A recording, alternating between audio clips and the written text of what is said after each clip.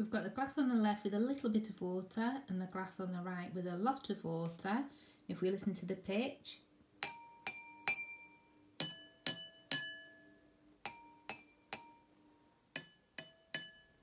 the one on the left is clearly higher and that's because there's more air